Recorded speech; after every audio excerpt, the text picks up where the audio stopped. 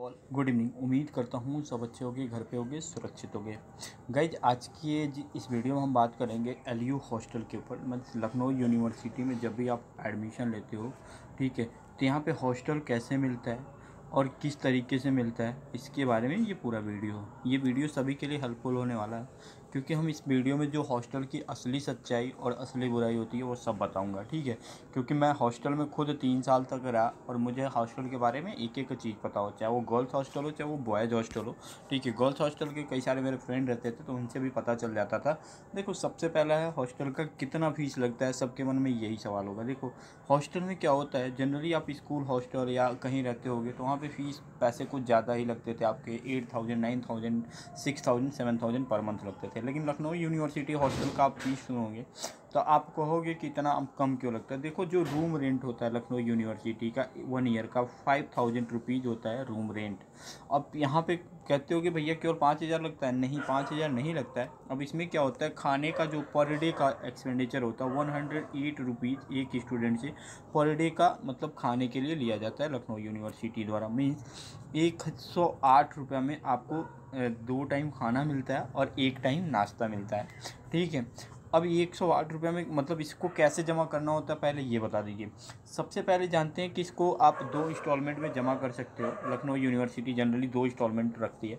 एक जो अलॉटमेंट होता है, वो ट्वेंटी सिक्स थाउज़ेंड रुपीज़ का होता है, जो आपको फ़र्स्ट फ़र्स्ट इंस्टॉलमेंट में पेमेंट करना होता है। जो आप जब एडमिशन लेने के जाते हो या हॉस्टल में एंट्री लेने जाते हो, तब आपका नाम मेरिट में आ जाता है तब। और दूसरा इंस्टॉलमेंट जो होता है, वो आपका सिक्सटीन थाउज़ेंड तो टू हंड्रेड का आता है। ठीक है? तो क्या ये पूरा फ़ीस एक साथ जमा करने का? नहीं, एक अलॉटमेंट मतलब एक फ़ीस जो होगा, वो आपको ट्वेंटी सिक्स थाउज़ेंड जो होगा, वो फ़र्स्ट इंस्टॉलमेंट जब हॉस्टल को अलॉट होगा। उसके बाद छः महीने बाद आपको सोलह हज़ार दो सौ रुपये लिए जाएँगे। अब कोविड था तो इसमें कुछ चेंजेस आए होंगे। अभी हमें ये कंफर्म तो नहीं, लेकिन इतना ये पूरा आपका एक साल का फ़ीस होता है, ठीक है? उम्मीद करता हूँ ये क्लियर हो गया। अब सेकंड क्वेश्चन ये आता होगा दिमाग में, भैया, ये हॉस्टल सबको मिल जाता है क्या? देखो हॉस्टल की जो मतलब शुरुआत से चला आया तो टॉप टू हंड्रेड रैंक के जितने भी स्टूडेंट होते हैं, किसी भी कोर्स के टॉप टू हंड्रेड रैंक के अंदर जितने भी स्टूडेंट होते हैं, सिर्फ़ उन्हीं को हॉस्टल मिलता है। मतलब जितना या लखनऊ विश्वविद्यालय में सीट है, उसके तीस परसेंट ही सीट केवल हॉस्टल के हैं। तो हॉस्टल सबको नसीब नहीं होता है। बहुत हिम्मत वाले और बहुत टॉपर ही स्टूडेंट को हॉस्टल लखनऊ विश्वविद्यालय का नसीब होता है। ठीक है, अब जानते हैं कि क्या हॉस्टल में रहना सही है या नहीं है। गर्ल्स और बॉयज़ के लिए, दोनों के लिए बता देता हूँ। बॉयज़ के लिए कोई रिस्ट्रिक्शन नहीं होता है और गर्ल्स के लिए थोड़ा रिस्ट्रिक्शन है। Boys twenty four into seven जब चाहें तब जहाँ से चाहें वहाँ से आ सकते हैं, जा सकते हैं। ठीक है? ये ओपन है। ठीक है? बाकी बॉयज़ जब चाहें तब घर जा सकते हैं, आ सकते हैं। किसी भी पेरेंट्स की ज़रूरत नहीं पड़ती है। ना इन्हें कोई अप्लीकेशन देना होता है। ठीक है? वहीं गर्ल्स की बात करें तो गर्ल्स के लिए हर चीज़ का एक रिस्ट्रिक्शन होता है। जैसे गर्ल्स सात बजे के बाद कहीं अलाउ नहीं है जाना आपको। और जब भी आप जाओगे, आओगे तो आपको एक लेटर इशू करना होगा। अलॉटमेंट के टाइम आपके पेरेंट्स ज़रूर आने चाहिए। गर्ल्स इस बात का ध्यान रखें मम्मी या पापा में से कोई एक आदमी आपका प्रेजेंट रहेगा मतलब कोई भी, तभी आपका हॉस्टल अलॉट हो पाएगा। भैया, हॉस्टल का एक और कमी है, देखो, कॉलेज से जब हॉस्टल जाओगे मतलब तो हॉस्टल में जब जाओगे तो वहाँ पे नींद बहुत तेज़ आती है। अब वीडियो में बने रहना, क्योंकि हम इस वीडियो के बाद हम ये भी बात करेंगे कि हॉस्टल कैसे मिलेगा इस बार का, और किस तरीके से फॉर्म भरेंगे, पूरी जानकारी देंगे। तो वीडियो पूरा एंड तक ज़रूर देखना। तो नींद बहुत तेज़ आता है। इसको ओवरकम करने के लिए क्या तरीका अपनाते तो जहाँ तक मैं अपनी बात करूँ, मुझे अगर इस नींद से छुटकारा पाना होता था तो जब भी मैं खाना खा लेता था दोपहर का तो मैं एलयू की साइबर लाइब्रेरी या टैगोर लाइब्रेरी में चला जाता था। आराम से मैं साढ़े पाँच बजे तक पढ़ लिया करता था, ठीक है? तो वही काम आप भी करना, क्योंकि जब कॉलेज में लोग आते हैं ना तो न्यू इन्वायरमेंट होता है बहुत अच्छा लगता है। सोने में का बहुत मज़ा आता है एल में। तो ये हॉस्टल की सबसे बड़ी कमियाँ हैं। और एक चीज़ कई लोग बताएँगे कि रैगिंग होता है, ये होता है। ऐसा कुछ नहीं है। अब रियलिटी हॉस्टल का जो रूप है, वो बदल चुका है। ठीक है, वहाँ भी रिस्ट्रिक्शन लग चुके हैं। और हर हॉस्टल का अब अपना मेस हो गया। है जो स्टूडेंट डिमांड करेगा, वही खाना बनेगा। ठीक है, ये भी चलता है। तो उम्मीद करता है आर भी है, ठीक है, कपड़ा मतलब सब कुछ है, जो भी इंस्ट्रूमेंट रिक्वायर्ड होते हैं, सब कुछ मिल जाएगा ये हॉस्टल में, ठीक है।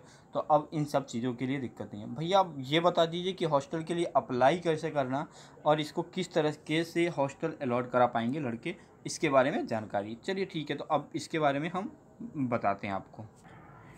चलो, हम नेक्स्ट हम बात करते हैं कि हॉस्टल के लिए आवेदन करने की जो अंतिम तिथि है, वो पंद्रह अक्टूबर बताया गया है। ठीक है तो इसे कैसे आवेदन करने के लिए ये यूनिवर्सिटी ने जो हमें दिया था, वो पूरा मतलब नोटिफिकेशन उस पर देखो, अगर आप पीएचडी में एडमिशन लेते हो तो आप इनको मेल करना फॉर्म भर के। फॉर्म यहाँ से आप डाउनलोड कर लेना। ठीक है हॉस्टल का जो फॉर्म था, मैंने यहाँ पे दे दिया है। डाउनलोड हॉस्टल फॉर्म, इस पर क्लिक करोगे तो डाउनलोड हो जाएगा और इस वेबसाइट का लिंक मैं आपको डिस्क्रिप्शन बॉक्स में दे दूँगा, ठीक है? जिसकी तिथि, अंतिम तिथि है पंद्रह अक्टूबर है और ये जो पेमेंट होगा, आप क्या करना, किसी भी online U P PhonePe payment मतलब किसी भी मतलब किसी भी तरीके से आप पेमेंट करा आई के थ्रू पेमेंट करा के उसका रिसिप्ट डाउनलोड कर लेना। रिसिप्ट डाउनलोड करने के बाद हॉस्टल का फॉर्म प्रिंट निकलवा के तब भरना। भरने के बाद उसका पीडीएफ बनाना और ये जो रिसिप्ट रहेगी उसको भी अटैच कर देना और टेंथ और ट्वेल्थ के मार्कशीट अटैच कर देना और यहाँ पे सारी जानकारी दी गई है कि इसमें क्या क्या करना है। तो उसको भरने के बाद आपको मतलब जो भी इस फॉर्म में डिटेल मांगा गया है, चलो एक बार हम फॉर्म डाउनलोड करके भी दिखा देते हैं और इसे अटैच करके भी दिखा देते हैं पहले। तो देखो ये फॉर्म है हॉस्टल फॉर्म है जो करंट ईयर का, जो तुम लोगों को ज़रूरत पड़ेगी, ठीक है? तो हम यहाँ पे हॉस्टल फॉर्म को भी ओपन करके तुम लोग को दिखा देते हैं। क्या क्या डिटेल मांगा गया, कैसे भरोगे? अपना नाम भर देना स्टूडेंट टाइप रेगुलर है सेल्फ फाइनेंस है, कुछ भी है रेगुलर कोर्स के हो तो regular self finance email address भर देना, अपना फ़ोन नंबर जेंडर भर देना कैटेगरी कौन से category O B C S C S C faculty of commerce science जिसके भी होगे. डिग्री क्या है? ठीक है, ये केवल तुम्हारा किस प्रोग्राम में किस सेमेस्टर के लिए लग रहा है तो semester first rank in merit list ये ओवरऑल मेरिट लिस्ट भी लिख देना और कैटेगरी भी लिख देना, दोनों मेंशन कर देना. अपना आधार नंबर दे देना, फिर डेट ऑफ़ बर्थ लिख देना ब्लड ग्रुप बता देना नेशनलिटी तो इंडियन हो गई फादर्स इनकम, ठीक है, और फादर का mobile number, mother's income, mother's का mobile number. Date of correspondence address जो भी होगा तुम्हारा और लोकल गार्जियन जो भी होंगे तुम्हारे लखनऊ में, उनका एड्रेस यहाँ पे दे सकते हो। अब यहाँ पे तुम्हें क्या क्या अटैच करना, सबसे पहले आधार कापी ठीक है फ़ीस रिसिप्ट का जो एडमिशन के समय मिला था, और और पचास रुपये की रिसिप्ट जो है, वो यू से ही पेमेंट करके कर देना, ठीक है? प्रोविजनल अलॉटमेंट लेटर जो भी तुम्हें मिला है, वो अपलोड कर देना कैटेगरी सर्टिफिकेट अपलोड कर देना, जबकि इन्होंने टेंथ और ट्वेल्थ का नहीं मांगा है, लेकिन तुम टेंथ और ट्वेल्थ का भी लगा के भेज देना। मीन्स ये सभी तुम प्रिंट आउट निकलवा लेना। प्रिंट आउट के बाद ये फॉर्म भर देना। फॉर्म भरने के बाद ये जो डॉक्यूमेंट अटैच करने अटैच कर देना और ट्वेल्थ की मार्कशीट भी इसमें ज़रूर पेस्ट कर देना। वो तुम्हारे लिए कुछ ज़्यादा लाभदायक हो जाएगा, ठीक है? और यहाँ पे अपना सिग्नेचर कर देना। ठीक है सिग्नेचर करने के बाद इसे क्या करना है? अब यहाँ पे तुम्हें मेल आईडी मिल जाएगा कि मान लो तुम बीकॉम के स्टूडेंट हो बीएड के स्टूडेंट हो बीएससी के स्टूडेंट हो तो सभी प्रोफेसर के यहाँ पे तुम्हें मेल आईडी मिल जाएँगे। इस मेल आईडी को क्या करना, लिख लेना या कॉपी कर लेना कॉपी नहीं होगा तो लिख लेना, फिर इसे कॉपी करके जीमेल में अटैच कर देना। अब तुम्हें ये भी करना होगा कि जीमेल में लिखो लिखना क्या तो सब्जेक्ट में लिख देना अप्लाई फॉर हॉस्टल मतलब अप्लीकेशन फॉर हॉस्टल अलॉटमेंट लिख के रेस्पेक्टेड सर माई सेल्फ जो भी होगा तुम्हारा नाम। And I got admission in जिसमें लिख, जो भी कोर्स है तुम्हारा। और माई रैंक की जितना इतना, और ये my university please find find the attached document of following तो फॉलोइंग तो जब इतना लिखने के बाद थैंक यू रिगार्ड्स अपना नाम मोबाइल नंबर और फिर अटैच कर देना, ये डॉक्यूमेंट तुम मेल कर देना पीडीएफ बना के। जब इस तरीके से मेल करोगे तो तुम्हारे लिए क्या होगा? यहाँ पे मेल जिसके जिस कोर्स के लिए हो जैसे बीएससी बीकॉम वाले इनको करेंगे बीएससी एमए एम एमएससी वाले इन इन लोग को करेंगे बीबीए बीटेक वाले इनको करेंगे इस मेल आईडी पे करेंगे बीएड वाले इन मेल आईडी लॉ के स्टूडेंट एमबीए फाइव ईयर के इसलिए करेंगे तो ये सभी है इसमें ठीक है? तो तुम लोग उम्मीद करता हूँ पूरी जानकारी समझ गए होगे बाकी कोई असुविधा होगी तो हॉस्टल के संबंध में तो आ, हमें मेल करके ज़रूर बताना।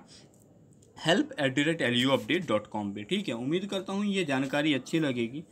तो जानकारी को ज़्यादा से ज़्यादा शेयर करना। चैनल पर नया हो तो सब्सक्राइब करके जाना क्योंकि पह, सबसे पहले और सबसे तेज़ अपडेट हम ही देखते हैं। Thank you so much